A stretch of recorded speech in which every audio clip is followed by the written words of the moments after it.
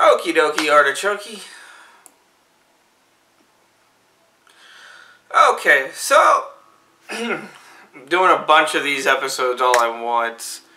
Um, so bear with me here. Um, so first we're going to do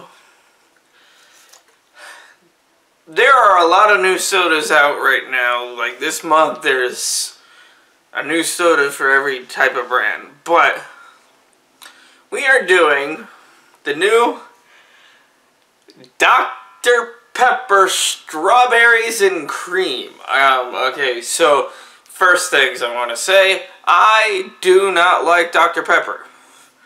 Um, I don't like the taste of it, but I like strawberry soda and I love strawberry things. So I am hoping that my like for strawberry will kick the dislike of the doctor's pepper and kick him in the pepper. That being said, um, I don't know if this is going to be a permanent flavor or if this is just a limited time. It doesn't say limited time, but I know other songs or other sodas all say that. Ooh. That's a really good strawberry smell.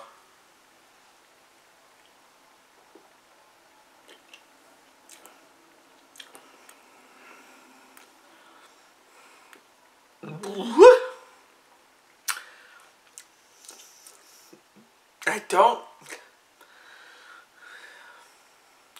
I don't know how to describe it.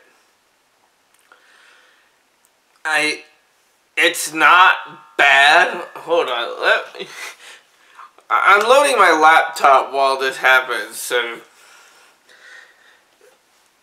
that brightness kind of started on its own. But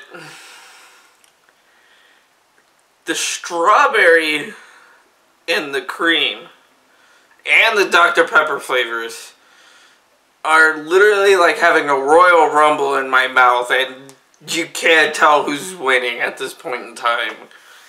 Uh, but I don't hate it.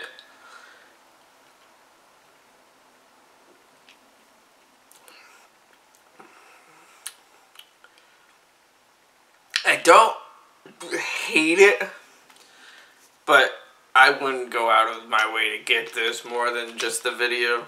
Um,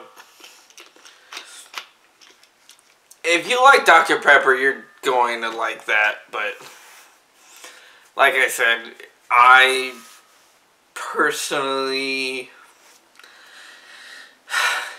it's one of those sodas you can take it or leave it. If you like Dr. Pepper, you're going to like it. But yeah.